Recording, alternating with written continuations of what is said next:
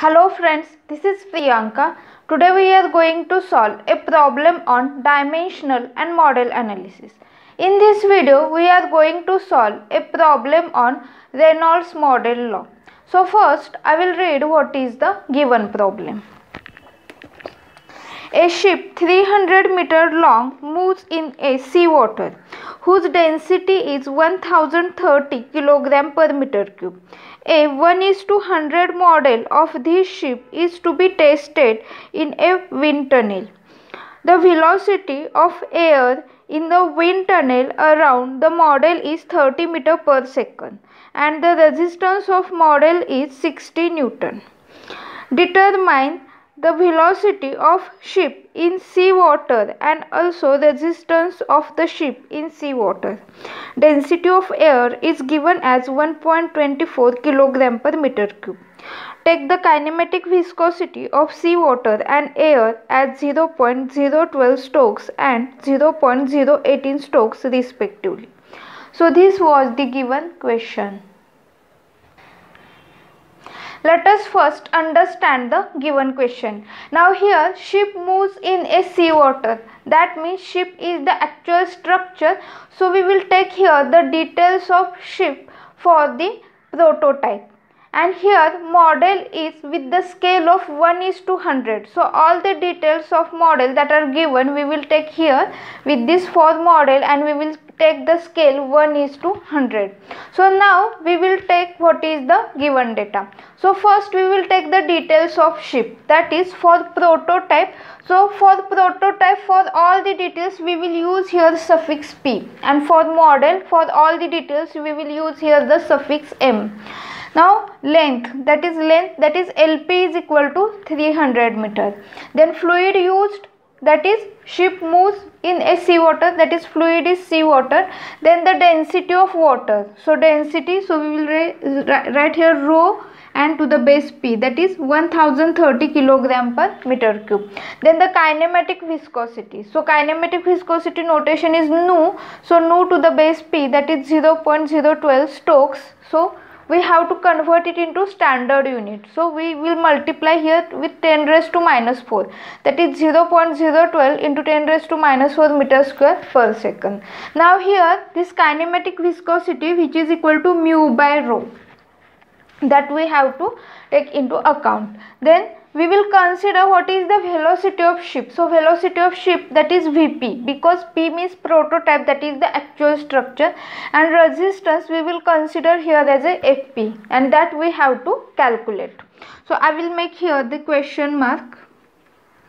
Then for model. So model is made that is it is the small scale replica of the actual structure and here the scale used is 1 is to 100 so now first length. So how to decide the length? So with the help of 1 is to 100 that is 1 by 100 times of original length. So what is the original length? 300 meter.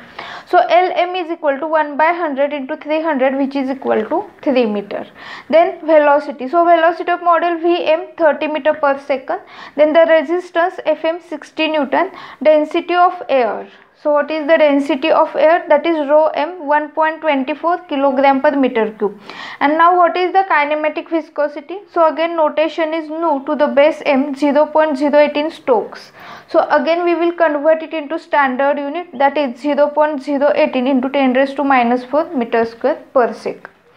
Now if we observe ship is moving that means we have to take the dynamic similarity and for dynamic similarity we have to use the Reynolds model law. So what is the formula for this Reynolds model law? So here this formula is in terms of mu and rho but here the kinematic viscosity is given.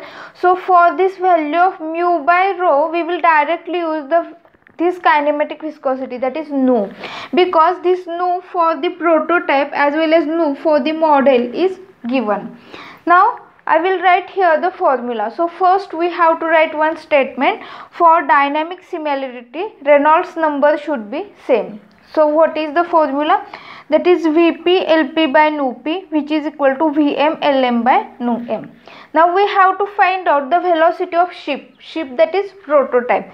So we will take here Vp on one side. So therefore Vp is equal to now I will take this LP and NUP terms to the other side so I will write here VM multiplied by LM by LP because here this LP goes to the denominator multiplied by now this nu p from denominator it will move to the numerator nu p by nu m so now it is easy for us to put the value. So what is the value of nu m? That is 0 0.018 into sorry what is velocity? That is 30 meter per second. So we have to take here velocity that is 30 multiplied by lm by L, lp so lm 3 divided by lp so lp is 300 now here nu p. So what is nu? Value of nu to the base p that is 0 0.012 into 10 raised to minus 4 divided by nu m that is 0.018 into 10 raised to minus 4. Now if we try to simplify here this 10 raised to minus 4 10 raised to minus 4 is getting cancelled. Then here 1 0 is um, getting cancelled. And here 3 and here is 10 so 3 by 10 multiplied by 12 by 18 so we can easily calculate this. So what is the answer here? That is 0.2 meter per second. So this is the answer of first question that is the velocity of ship. Now we will move for the second question that is we are going to calculate the resistance. So what is this resistance that is mass into acceleration. But if we observe in the given data mass and acceleration are not directly given. So if we observe density is given. So how we can define this density? So density rho is equal to mass by volume and volume is the geometric term so how we can define this volume that is length cube L cube that is equal to volume. So we will write here rho is equal to m by v and that's why rho is equal to m by L cube. So this, this is the dimension that is this is the dimension for mass and this is the dimension for volume in terms of L. Because if we observe length and velocity so velocity we have calculated and length that is already given. Now what about the acceleration? So here if we write this acceleration in terms of velocity. So acceleration is equal to v by t. Now again if we observe this time t is not given in the question. So now we will just put this value. So we will write here resistance is equal to so this mass that is rho into L cube multiplied by acceleration that is v by t. Now if we observe this now this t is not known. So if we observe if we will take here length by time so l by t so we know that the displacement by time or distance by time that velocity is equal to distance by time and that is equal to l by t so we will take here rho into L square into V by 1 into L by T. So L by T is equal to V. So this V multiplied by V that is V square. So how we can define this resistance that is rho L square V square. Now we know the formula that is resistance for the prototype and the resistance for the model that is FP by FM is equal to rho L square V square P divided by rho L square V square M. Now if we observe here we will separate these all the terms that is rho P by rho M multiplied by LP by LM bracket square multiplied by VP by VM bracket square.